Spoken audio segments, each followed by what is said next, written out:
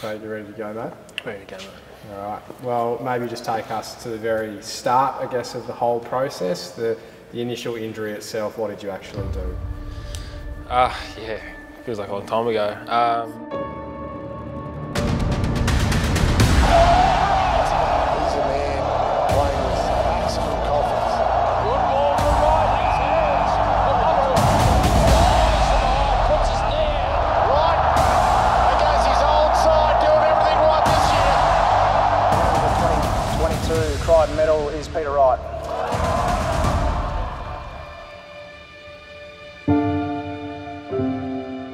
Thank yep. you. Cool.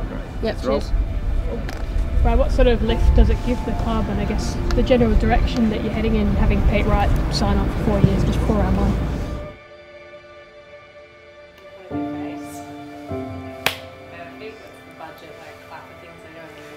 Uh, so yeah, so as it's been well documented, Pete dislocated his shoulder right on the eve of, of round one.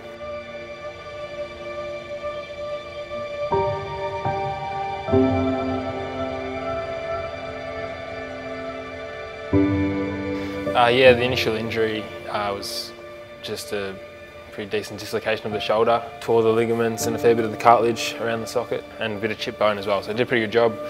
Subsequently he underwent a full shoulder reconstruction which involved a bone graft at the, the front of the shoulder to make sure he's, he's stable and then it's... It's been really smooth since then but it, it feels like a long time ago that I couldn't even lift my arm.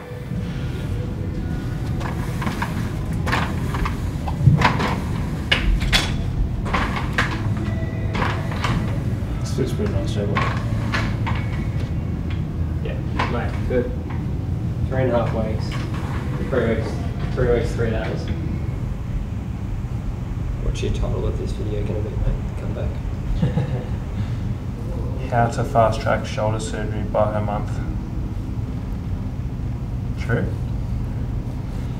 No more two metre Peter. Two month Peter. Yeah. That 90? I should have just said yes. No, we're about 80. Get into like someone clicking motion before.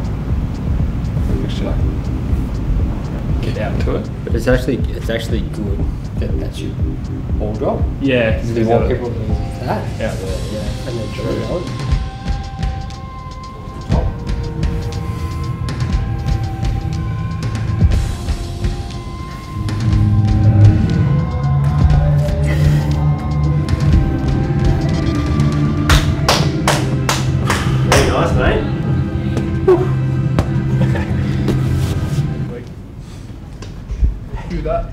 Are you are you sitting down at all at home or you just up against the wall doing something yeah. the whole time? The initial time frame was yeah around 16, 16 plus weeks. Um, I think every every athlete once you've got a time frame you're always just trying to trying to whittle away time at that. I mean Pete was Pete was great the the whole time. We'd give Pete a, a two week block with some criteria to meet at the end of the, the two weeks and Pete would come back within a week saying hey, I think I'm there, I think we, we go to the next stage. So his application, his attention to detail, you know, talking about him coming in doing three sessions of, of rehab a day to really try to speed up his processes as much as he could within the bounds of, of his injury.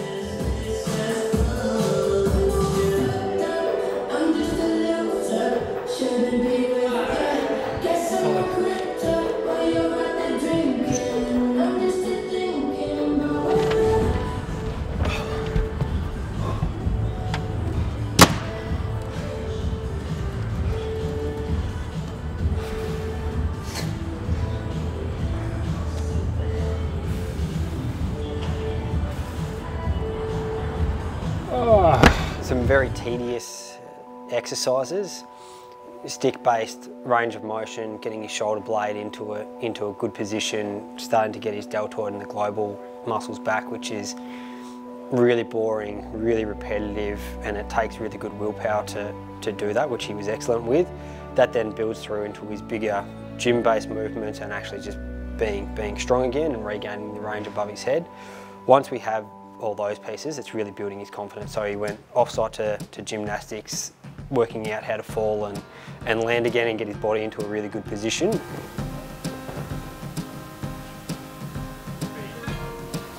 That looks hard. it's, a, lot- it's a lot lower down Yeah. this for me. Um, So just drop into it. drop in, drop in and then sort of like roll back. Yeah. Shouldn't be nervous.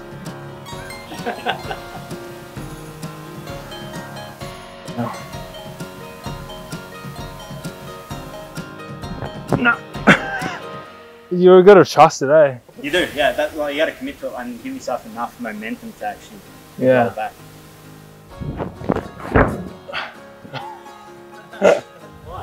like you end up over coming over and you're pushing your hands away. Yeah.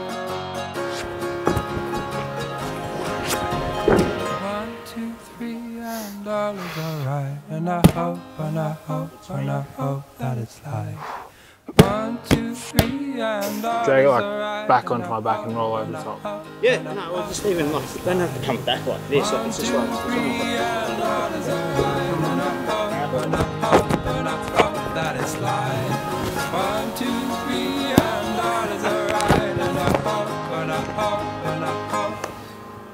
Ball. Um. Oh. Nice, easy, done.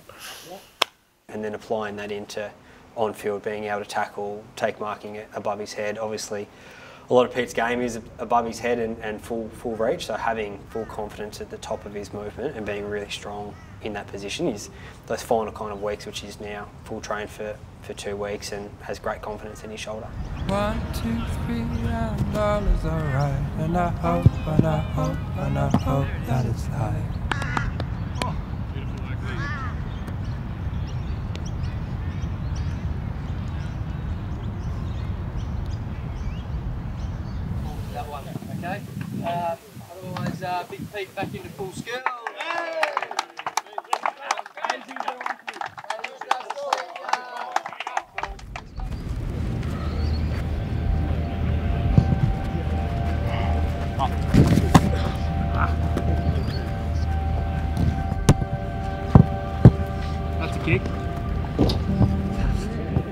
Know. I think playing this weekend it's definitely nerve wracking. It feels it's been a long time between games. Definitely some nerves when you know you need to start building up that evidence again um, to become the player that you want to be. But um, you know, the, I know the boys will support me, and I just want to go out there and just try and compete. That's what I always base my game off, and um, the rest will unfold from there. So yeah, pretty excited. Um, definitely nervous, but yeah, looking forward to it.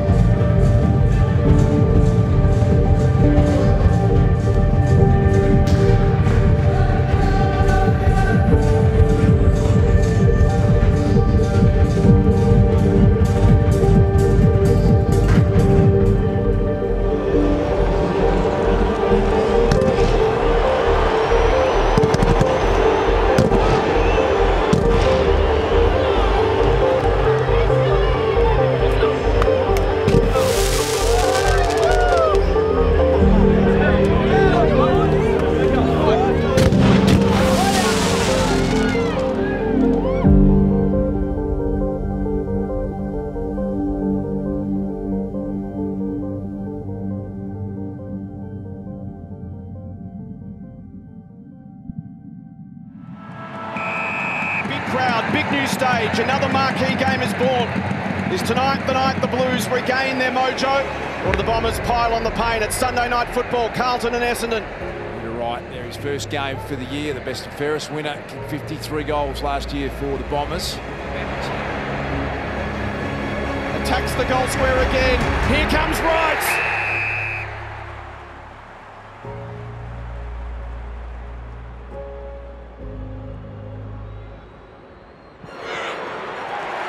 Straight back for Peter Wright.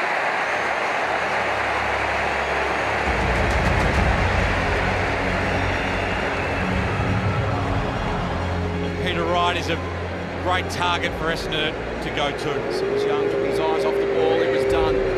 Right from 50. Steers it through. His second releases Merrett. He's got Langford inside 50. Spots him now. Will go deeper and find Peter Wright.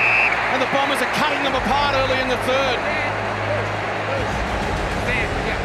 What a start to the Bombers.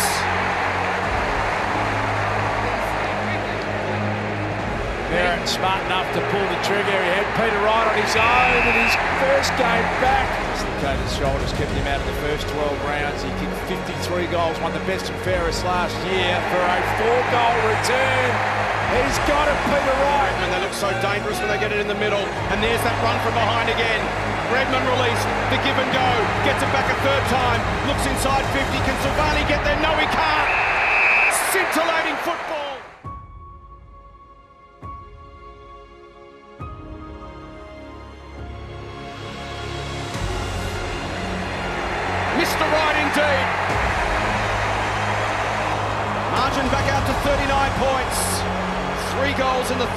for Peter Wright.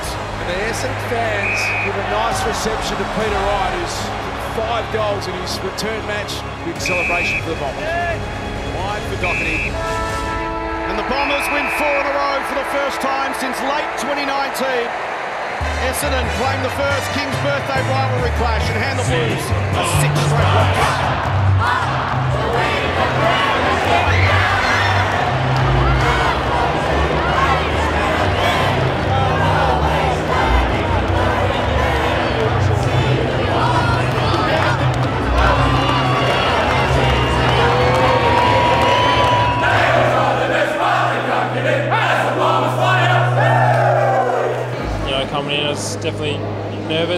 like I hadn't played footy in quite a while. Um, yeah, it was like the least I've thought about about my shoulder in three months. I'm really grateful to be able to be, to be able to be back out there for all the work that's gone into it to come back um, early. A lot of work not for myself alone, but you know all the physios and you know, Alex, our head of medical as well.